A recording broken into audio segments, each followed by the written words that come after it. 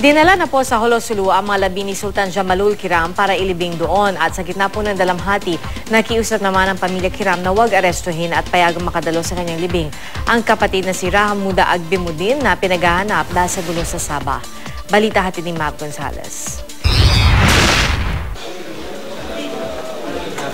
Sa dinami-rami raw ng mga ginustong gawin ni Sultan Jamalul Kiram III noong buhay pa siya, ang huling kahilingan pala niya ang mapagbibigyan, ang mailibing sa Sulu. Ngayong umaga ay ang kanyang labi via chartered flight ng Lion Air diretso sa Hulo. Kasama niya sa eroplano ang mga malalapit na kamag-anak, kabilang ang asawang si Fatima Celia. Kwento ng naulilan ni Mrs. hanggang sa mga huling sandali ni Kiram, ang binilin pa rin niya ay kabutihan. Yung mga sa mga pamangkin, sa mga anak niya, lagi niyang sinasabi, respect to the elders. Number one. Ang number two, tumulong kay sa tao. Kontento na ako sa, ah, sa mga nangyari ngayon, no? That at least kahit sa huling sandali, napagbigyan po ang ah, wish o ang kahilingan ng daddy ko na doon po siya mailibing sa libingin po ng mga sultan sa Maimbong. Sa tradisyon ng mga Muslim, dapat ay mailibing ang yumao sa loob ng 24 oras matapos siyang mamatay. Ngunit di ito natupad sa kaso ni Sultan Kiram. Kinailangan pa kasi ng eroplano at landing permit dahil sarado ang airport sa Hulo.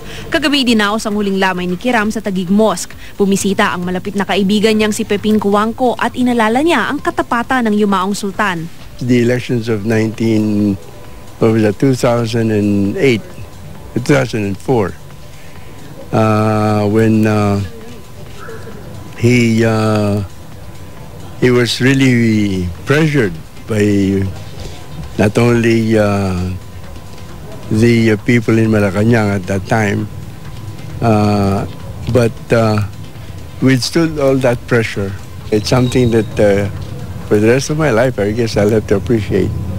It's not because of the importance of what I gained, but it's because of uh, what I've saw I've saw in a people in a person.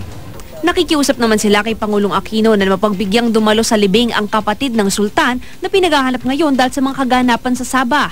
There was a text uh, to our Secretary General, uh, Abraham Ijarani, by uh, Rahamuda Agbimuddin. I wish and uh, to relay this to His Excellency to give, uh, uh, I may say, a, uh, a pass for us to bring back home Agbimuddin to at least uh, be present no, in the, the burial no, and, and the interment of uh, his brother in Maimbong. And uh, a safe conduct pass uh, uh, free from any arrest. Sa ngayon, wala pang naitatakdang kapalit si Sultan Jamalul. In the tradition kasi ng Sultanate of Sulu, we do not talk about that pa within 30 days or I think 40, if I'm not sure, no?